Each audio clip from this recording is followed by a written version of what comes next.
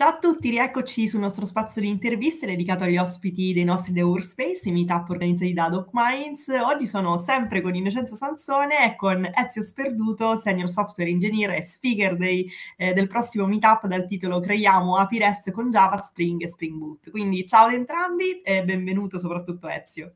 Ciao, ciao Roberta, grazie. allora, iniziamo, iniziamo, subito un po' a chiederti quando hai iniziato a programmare e in che modo poi la programmazione è anche diventato il tuo lavoro.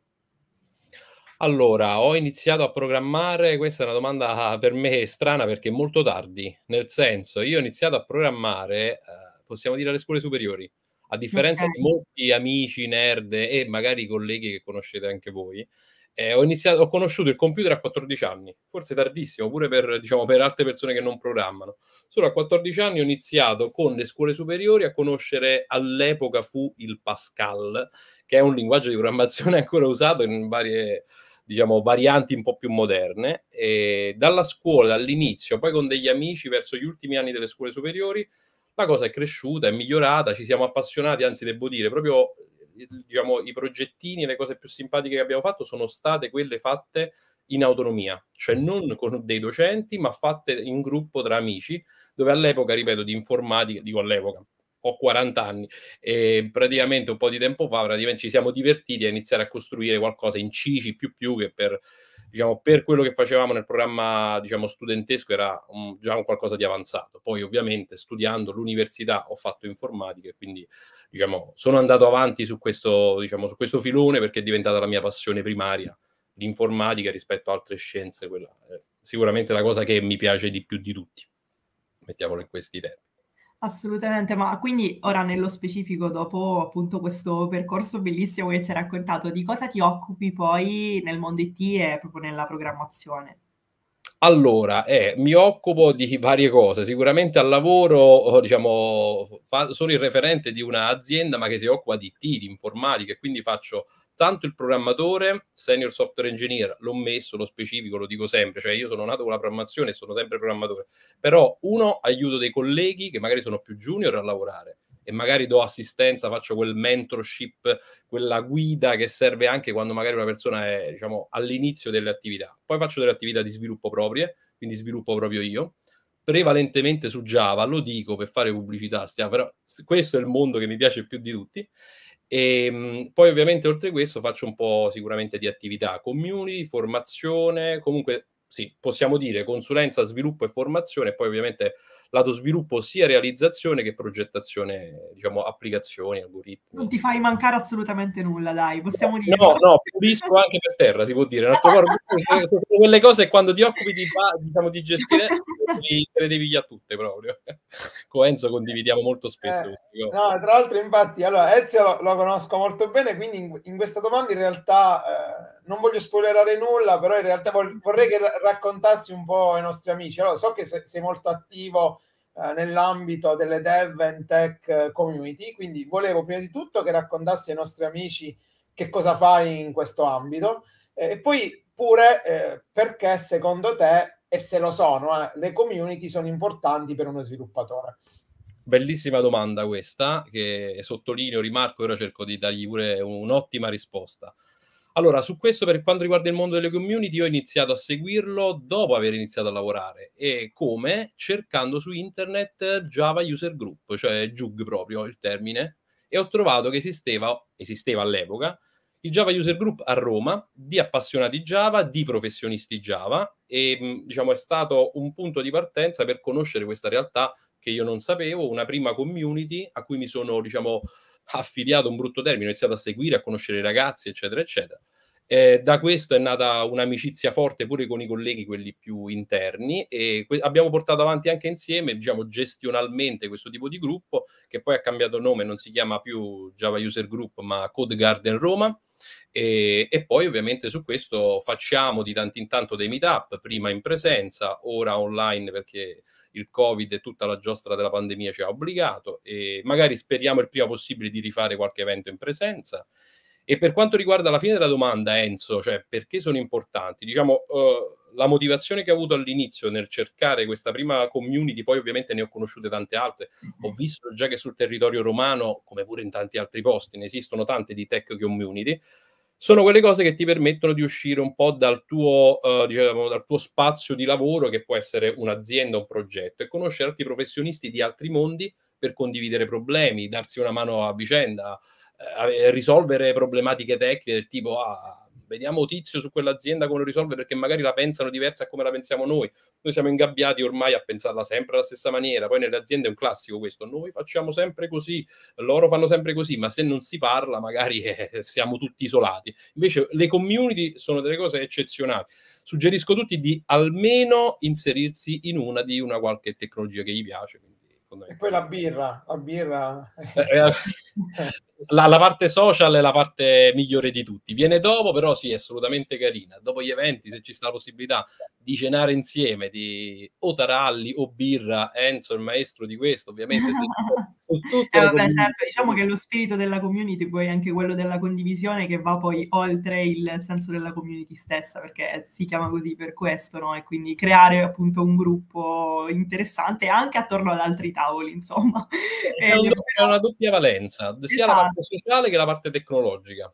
Esatto, esatto. Ma è, oltre appunto alla community, noi abbiamo un po' indagato e sappiamo che è, appunto oltre a questa passione qui ce n'è un'ulteriore, ma ce l'hai già anche una annunciata prima, prima tu, che è quello poi della, quella della formazione, no? E volevo chiederti da dove nasce soprattutto questa passione e come ti impegni poi in questo ambito. Allora, sulla formazione sì, eh, diciamo che la nascita proprio potrebbe essere originaria nel periodo che ho passato all'università. Cioè, oltre ad aver studiato, come molti di noi, un corso di laurea, io ho fatto un dottorato di ricerca a Roma 3 a ingegneria e lì ho avuto un po' di esperienza in merito su, diciamo, nel mondo della programmazione, su Java e via dicendo. Seguendo il mondo della ricerca e della formazione, forse sono stato marchiato uh, formalmente da questo tipo di percorso e ho fatto mio, diciamo, quella che è uh, la possibilità di mantenere elementi formativi costanti nel lavoro Ora che invece sono in azienda e lavoro tutti i giorni in questo mondo dello sviluppo, mi sono reso conto che l'IT è un mondo fatto dove ogni giorno escono 10 linguaggi di programmazione nuovi, 100 framework nuovi, 1000 piattaforme nuove. Se non si è costantemente, diciamo, formati e informati su quello che succede, eh, siamo praticamente tagliati fuori. Quindi quel discorso di fare formazione permanente al lavoro, eh, portarla avanti all'interno dell'azienda e condividerla con i colleghi, anche fare diciamo dei meetup e seguirli, serve a tenersi un po' aggiornati, quindi fondamentalmente è un elemento vitale. Io lo dico sempre, in azienda abbiamo un programma formativo, le aziende devono diciamo, cercare un po' tutte quante di avere degli elementi formativi di varia natura, seminari, workshop piuttosto che corsi classici, eccetera, dove magari diciamo, que- queste cose permettono alle persone programmatori di non rimanere, anche in questo caso, fissati sugli argomenti di lavoro che hanno, ma poter progredire, andare avanti, eccetera. Da questo punto di vista io sono diciamo, assolutamente convinto di questo tema. Io stesso faccio, ho fatto il docente Java per tanto tempo, continuo a farlo su uh, argomenti affini, anche corsi, eh, corsi di onboarding che potrebbero essere cose un po' più legate al lavoro aziendale piuttosto che corsi Java base e Java base ne abbiamo fatti pure con Enzo abbiamo fatto un po' delle, delle sessioni interessanti sono su YouTube tra l'altro si possono vedere gratuitamente. E, e ripeto ho, diciamo non perderò mai questo tipo di stimolo perché penso che sia molto utile lo, lo condivido anche con gli altri. E, e, non lo perdiamo, e non lo perdiamo giovedì 24 eh, quindi da una set- fra una settimana diciamo da oggi che stiamo, stiamo registrando e, e giovedì 24 parleremo di API REST appunto in Java eh, con Bootstrap eh, no scusa come si chiama la, la, la, la piattaforma? Eh, io sono, sono ignorante per cui ti lascio la parola e ci anticipi qualcosa di più al riguardo e io posso dire no, non vi anticipo nulla, lasciamo il segreto fino all'ultima giornata. Va bene, raccontiamo un pochino di che si tratta. Cioè, fondamentalmente parliamo di API REST e parliamo di Java, Spring Boot e Spring. Ehm, perché questo? Sicuramente parliamo di questo tema perché nell'ambito del lavoro, soprattutto aziendale enterprise, il, uno degli stack principali che, utilizza, che, viene utilizzato con Java è quello ave, di avere un backend con Spring e Spring Boot e un front-end vario che può essere, ovviamente lì non entriamo, JavaScript e via dicendo, come potrebbe essere Angular, React e queste robe qui, le conoscete tutti. Lato back-end, per far comunicare due cose, ovviamente noi dobbiamo tirare su un applicativo, diciamo in tutte le realtà si tira su un applicativo lato back-end che ha, espone delle API, quindi fondamentalmente un front-end o un altro servizio lo richiama, queste API di solito sono REST e noi utilizzeremo questo tipo di logica REST e faremo, realizzeremo un piccolo software, in realtà un software è dire tanto, in realtà faremo degli esperimenti, degli esercizi per tirar su questo piccolo applicativo che avrà una, diciamo, una parte di controller che risponde a chiamate di tipo REST.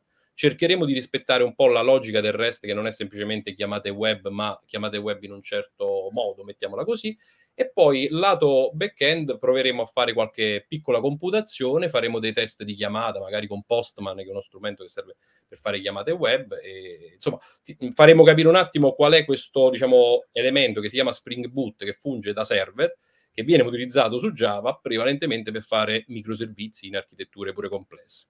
Non si può conoscere e capire tutto, però questo è solo un input per poter poi approfondire. Riuscirai a, farmi, Poi... riuscirai a farmi passare a Java, Ezio? Me lo auguro. Dai, comunque ci ha dato un sacco di spoiler su quello che succederà il giorno 24 e sarà veramente stra interessante, quindi ovviamente invitiamo tutti a iscriversi e seguirci. Noi ti ringraziamo tantissimo Ezio per essere stato con noi, per aver fatto con questa intervista. Diamo appunto a tutti appuntamento al 24 marzo alle 18.45 con il meetup Creiamo API REST con Java, Spring e Spring Boot e ovviamente trovate tutto sui nostri canali, lì potete trovare anche gli Eventbrite con uh, i quali iscriversi iscriversi, quindi vi aspettiamo tantissimo numerosi e ci vediamo giorno 24. Ciao, ciao a tutti. Grazie, Grazie. mille. ciao. ciao. Ciao ciao.